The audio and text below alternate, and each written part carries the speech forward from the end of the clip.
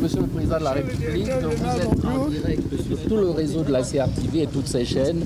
Merci de répondre à quelques questions de la presse. Joseph Clément. Excellence, Monsieur le Président, après avoir accompli votre devoir civique, quel est le sentiment général qui vous anime en ce moment? D'abord, un sentiment de joie, de satisfaction.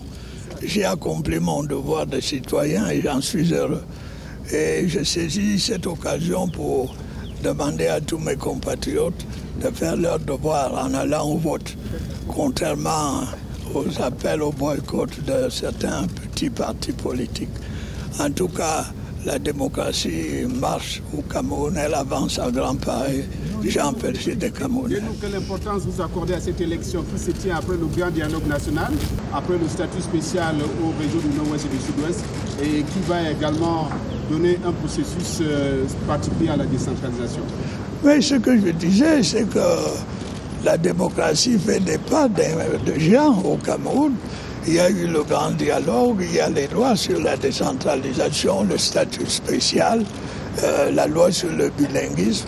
Et bientôt, nous aurons aussi, quand les élections municipales auront pris fin, on aura à élire des conseillers régionaux.